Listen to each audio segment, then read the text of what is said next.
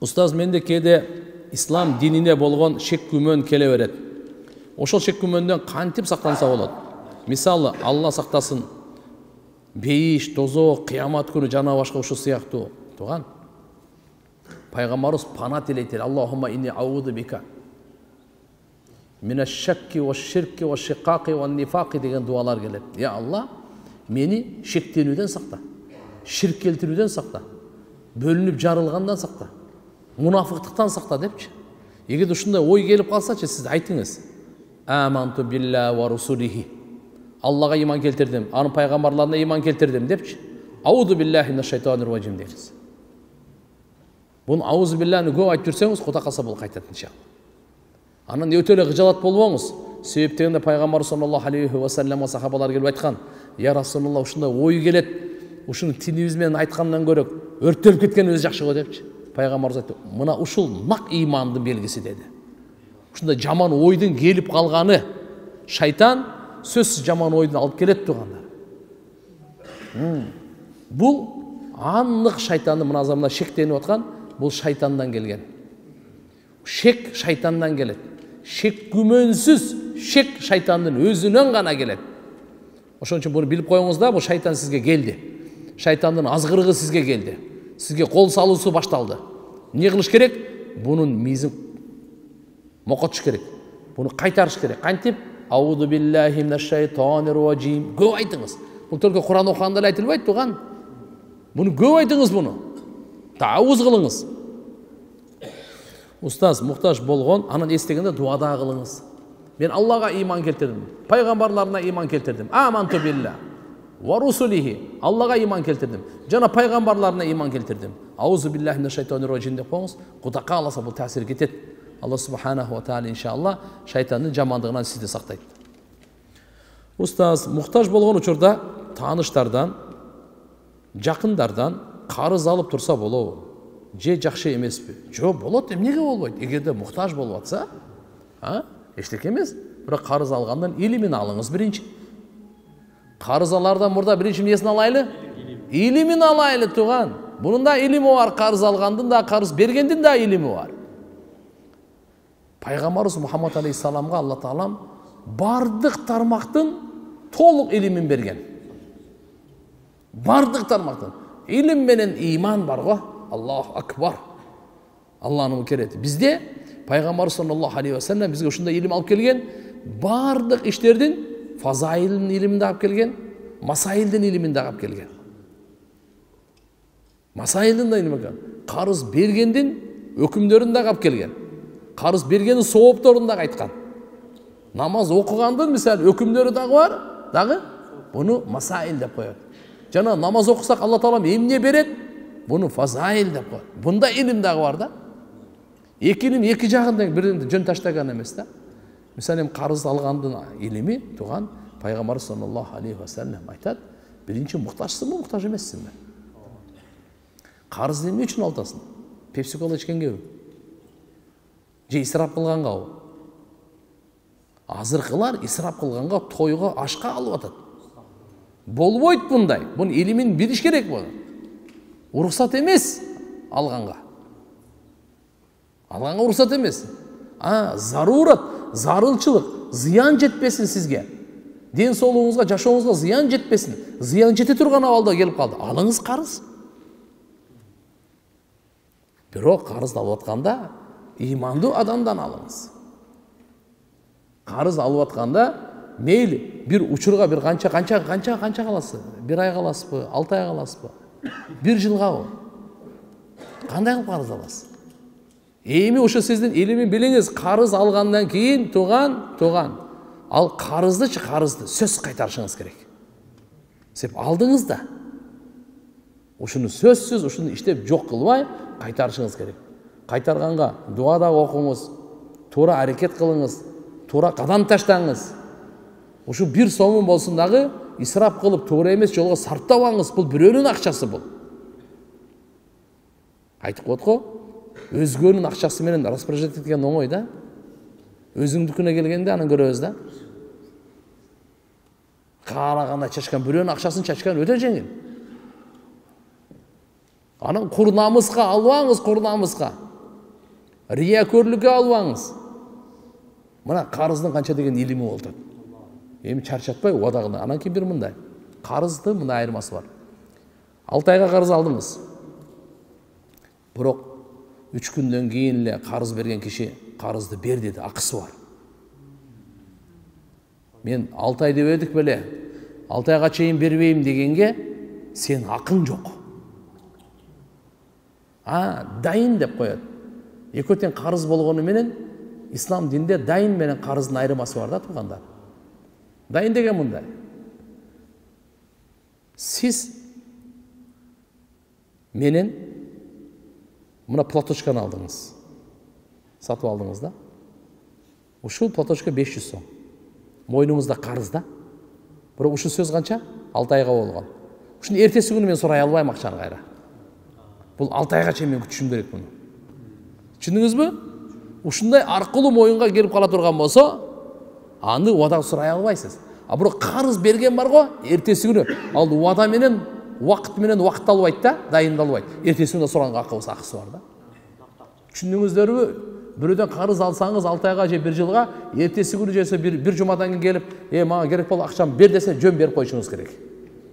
Эгер иштетип жүрген болсоңуз кечирип турасыз анда кичине убакыт менен деп. Бирок сиздин э алты айга сүйлөшпөдүк беле дегенге акыңыз жок түшүнүктүбү маселе кеттик дальше устаз биздин үй бүлөдө түшүнбөстүк жана уруш жаңжал боло берет ошол нерседен кантип сактанабыз илим ошон үчүн үйдө таалим болсун үйдө альхамдулилля намазды жандандырыңыз зикирди жандандырыңыз дуаны жандандырыңыз үйдө сүннөттү жандандырыңыз жандандырыңыз бүгүн кылып эртеге кылбай эмес оживлять этиш керек күн сайын альхамдулилля сүннөт менен дуа менен кудай кааласа мына шайтан ар кандай аркылуу салып аткан жаңжал паңжалдардын баардыгы токтойт үйгө китеп диний китеп алып барсаңар кичине баягы лениндин немелери менен толтуруп алып дагы эле туура да эми капкаяктан шайтандын сөздөрүн толтуруп алып мына. Имандын сөзүн толтургула үйгө берекенин сөзү периштелердин сөзү анан үйдө сүрөт пүрөттөрдү азайткыла жок кылгыла үйдө анан ит бит майда чүйлөр киргизбегиле кирбейт периште кирбегенден кийин билип коюңуз ал жерде ырайымдуулук болбойт. Ал жерде тынчтык бейпилдик болбойт. Кут болбойт ачык айтайын. Пайғамбарымыз саллаллаху алейхи уассалам дүние ақиреттен алымы бүткіл адамзаттың басшысы айтқан не деп қойған қайсы үйде суреттер отырған болса сөнөкөттер отырған болса періштелер кірмейді райымды періштелер кірмейді жерге райымдылық болбойт тополаңдын баары башталат анан мұсылман еркек аял күнөө иштен кантип сактана алат эгер окуган намазы окуган кураны кылган амалы жардам бербей жатса дейби демек ол намазды намаздай қылып оқымай жатыптыр да қапа болбаңыз құранды құрандай оқыса намазды намаздай оқыса мейлі ешқашан бұлар күнөөгө барбайт кичинекей күнөө жаңылыштар болуп калышы мүмкүн чоң күнөөгө ол ою дагы кетпейт намазга ушунчалык алектениңиз кайра кайра намаз окуңуз сизчи кээ бир адамдыкы бир намаз менен эле васвасалар жок болот кээ бирлер он намаз менен кээ бирлердики элүү намаз менен бирок намазда сөзсүз арам нерседен токтото турган күч бар угуп алыңыз бул алла айтты алланын сөзү эки болбойт алланын кураны бул намаз чындыгында абийирсиз күнөө кылмыш баардык иштерден токтотот деди алла айтып атат а сиздин намаз окуп туруп дагы эле күнөө иште токтобосоңуз значит сиздин намазыңызда че то проблема ошол жерде чукулаңыз ошол жерде караңыз намазыңыздын кайери кыйшык кайери тешик бүтөңүз жерде анан сиз бүтөңүз ошол жерде. Намазды иншалла үйрөнүп берилип окуңуз анан айтасыз. Кандай таасир экен даджал яжуж мажуж жана иса пайгамбардын түшүшү боюнча маалыматтар түз маанисинде айтылганбы же кыйыр маанисинде же түз маанисинде кээ бирлер ушинтип айта берет да бул даджал деген сөз өзү жалганчы деген сөз да. Жалған аябай тарқап кетеді мына ушу дажжал деп коет экен да. Е астагфирулла. Дажжал конкретный дажжал келет. Өзү келет дажжал. Эч кандай бул батыл эмес. Иса пайгамбардын келүүсү хак эмес.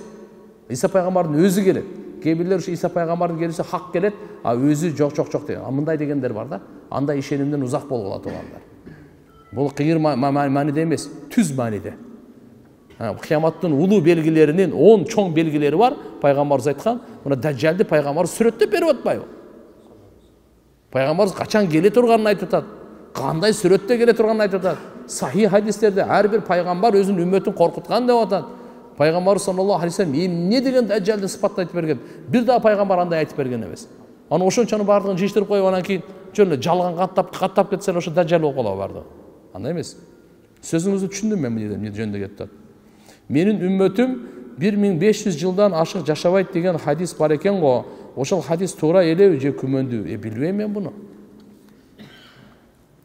жаттаган сүрөлөрүңдү унутуп койсоң күнөө жазылат деген чынбы чын.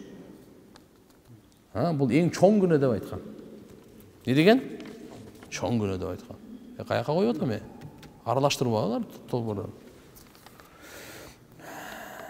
так так так алла разы болсын ұстаз менің екі сұрағым бар силсилаи алымдар бұлар кімдер орысша айтқанда золотая цепь улемов деп золотая цепь улемов анан екіншісі хусейн халми ышық дейбі дегенді кім дейбі мындай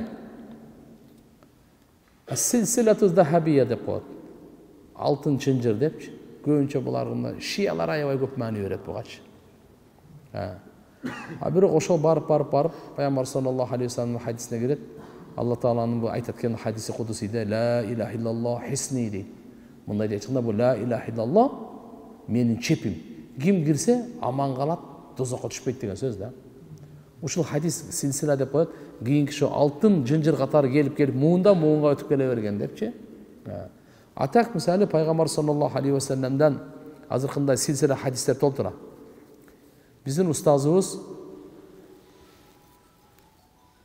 бізге құрма беріп замзам ішіріп хадис айтқан ошол пайғамбарыбыздан бері ушундай келген пайғамбарыбыз бір сахабаға құрма беріп хадис айтқан түсіндіңіз бе ал сахаба шәкіртіне ошенткен табиин ал аға айтқан ал да жөнөкөй айткан эмес ошол хадисте курма берип айткан ушинтип ушинтип бүгүнкү күнгө чейин ушундай келген да бұл деген не біздің дініміз сақталған деген сөз. Құрани каримден аят эле эмес цепочка менен? Хадистерге чейин ушундай бар силсила бар. Кээ бирлери замзам ичип замзам ичирип анан хадис айткан кээ бирлери аттын үстүндө айткан каерде айткан ал кийинки кийинкиге да шакиртин аттын үстүндө минип отургузуп алган айткан ал кийинкисин анага аттын үстүндө түшүнүп кээ бирлери хадисте кол берип айткан наркы шәкіртіне айтқанда пайғамбарымызға мен ушундай қол беріп тұрып хадис ұққанмын саңа да қол беріп тұрып айтып жатамын ал кейінгісіне цепочка келіп ушу күнге чейин қол беріп тұрып айтқан альхамдулилля біз ұстаздарымыздан ушундай хадистерді алғанбыз да. Аллаға шүгүр чексиз шүгүр динибизде динибиз да сакталганы хадисте да сакталганы хадисти динибизди сактаганга туугандар жүз миңдеген мухаддисиндин жаны кеткен тууган тамаша көрбөй эле мындайга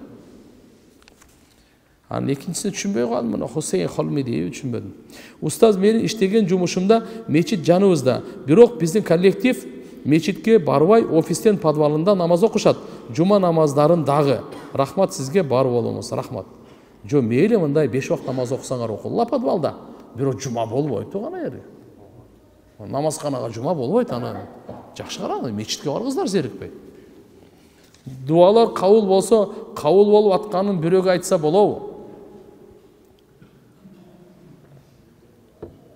сізге жақсы санаған жақсы көрген адамға айтсаңыз мейлі. Бірақ көре албағанға айтып албаңыз да иш кайра чатак айланбасын адамдар әртүрлі да. Дуаңызды мысалы қабыл болған ошо бирөөгө айтсаңыз болобу депчи мына айтып атканыңызды кудайга шүгүр ушундай дуа кылдым эле ушундай болду деген бул мотивация дагы а мотивация дагы мындай караңыздар да. Кимде ким. Мен дуа қылдым бирок алла мени пустой эле кайтарып койду десе ал кудайды таанып алыптыр дейт да ал жаратканын таанып алыптыр ал. Мен көтөрдүм алла кабыл кылбай койду деген киши кандай экен ал жаратканын таанып алыптыр ал. Ушундайдан аллахым сактасын кудай кааласа дуада эң негизги шектенбеш керек. Шектенбеш керек. Екіншісі алланы шаштырбаш керек. Давай эле давай. Алла өзі біледі қашан жардам бергенді. Сіз бұл жақтан шын жүректен сұрап қоя беріңіз тақсыр. Әрбір сұрағаныңыз текке кетпейді әрбір сұрағаныңыз жазылады. Бүгін қанша беш жол сұрадыңыз ба? Беш тең жазылды. Ертеге он жол сұрасаңыз он тең жазылады тақсыр. Сіздің бір дағы дуаңыз текке кетпейді ішеніп қойыңыз текке кетпейді. Ойлап алыңыз сөзсіз эле сұраған конфет сізге беріле тұрған жоқ конфеттен жақсырағын береді алла тағала кейбір учурларда башка келе жатқан бәлені алла тағалам жоқ қылады ошо дуаңыздың берекесіненші ошон үчүн айтат да пайгамбарыбыз айткан дуа деген бар го ушундай касиеттүү амал экен да келген кайгы кыйынчылыкты да жок кылат келе электи да ошол жерден эле кайтарат дейт да бирок келе жатат эмне болуп атат э келе жатат келе элек ошону дагы кетирет дейт дуа дуа ушундай касиети бул жок кылат мунун баардыгын мимма назал ва мимма янзил дейді келгенінде келгенінде жоқ болады мисвак қолдану тәртіптерін айтып беріп қоясыз ба мисвак құрғап қалса қолдану бола береби мисвак қолдану мисвак пайғамбар саллаллаху алейхи вассалам айтқан да егер де мен үмметіме машақатты болып алғандачы әрбір дағратта мисвак қолдануға бұйырмақпын же болмаса әрбір намаздың алдында депші хадистер келеді да мисвак алланың разычылығы дейді да жана ооздан жағымсыз жітті кетіре тұрған деп бір хадисте келеді субханалла мисвак менен намаз оқылған мисваксыз оқылғанға қарағанда жетміс есе сауабы көп дейді да аллаху акбар азыр мисвакты кім қолданса азыр құптанды оқыса аныкі жетміш құптан да мисвак уже ұрған бойдан оқып алса аны бір құптан да ошон үчүн мисвак колдонуп жүрүш керек бул маданият да альхамдулилля пайгамбарыбыз аябай көп мисвак пайғамбарымыздың ең ақырғы сүннеті қандай эле десе мисвак эле да дүниеден қайтып жатқанда мисвакты қолданды да айша энебиз айтады айша энебиздин кучагында эле абдурахман радиаллаху анху кирип калды айша энебиздин иниси колунда мисвак бар эле пайгамбарыбыздын тээп мисвагын карап калды айша энебиз сразу эле дагы сүйлөтпөйт тең туруп түшүнөт эле сразу я расул алып берейинби деди алып берди жакшынакай алып тазалап жууп жумшатып сонун кылып берди пайгамбарыбыз кара жан берейін деген учурда мисвак тартып атат ей жан берейін деген учурда акыркы амалы мисвак тазалык деген мына туу чокусун көрсөткөн мухаммад расулулла саллаллаху алейхи вассалам кургап калса сууга салып коюңуз оозун жакта кесип туруп эме кылдым жумшатыңыз анан баягы кыргып туруш керек бир ай бойдон эле щетка бойдон калтыра бербейчи түшүнүктүүбү аны ошо кичине колдонгондон кийин өзүнүн эмесин кете баштайт кыркып салыңыз кайра ала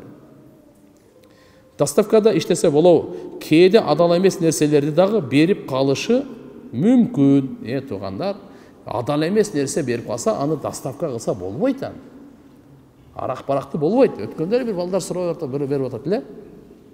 Мына жердеги арак жасаган тиякпай ичкен болбойт бирок нары бери ташыган боло берет. Бир бир нерсе каяктан чыккан. Туугандар андай эмес.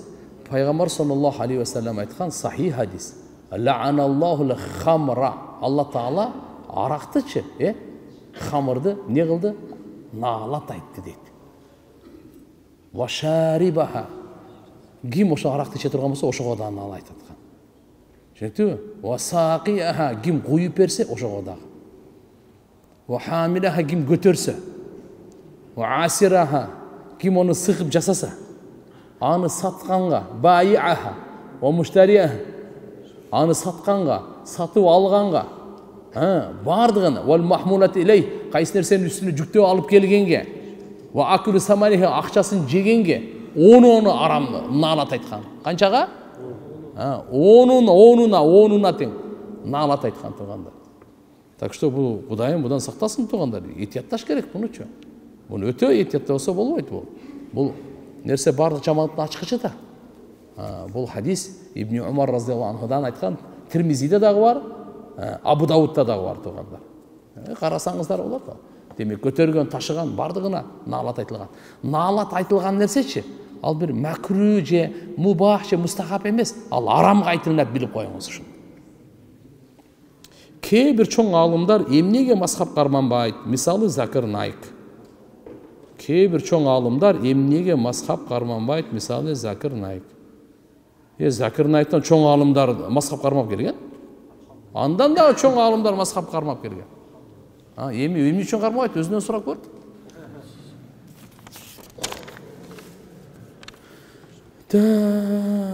бүтүрүп дамыларга так кыргызстан боюнча эски имамдар жаш медресени бүтүрүп барган дамылларга имамчылыкты беришпейт эски имамдардын же бир фатихасы туура эмес дааватчылар барса кабыл албайт киргизбейт мечитке буларды кантип алмаштырса болот срочно окулсун дейт машалла.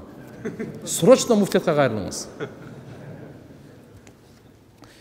исламский принцип менен ипотека алса деле үстүнө акча процент кошулат экен алсам дуруспу дурус эмеспи кененирээк түшүндүрүп бересизби караңыз ислам принцип каржылоодочу үстүнөчү бул процент эмес бул наценка өзүнүн жол жоболору убакыт болуп калдыбы кудай кааласа бул боюнча иншалла кийинки сабактарда иншалла кенен сабак өтүп беребиз эстетип койсоңор эле болду алла таалам кабыл кылсын амин ربنا اتنا في الدنيا حسنه وفي الاخره حسنه وقنا عذاب النار برحمتك يا ارحم الراحمين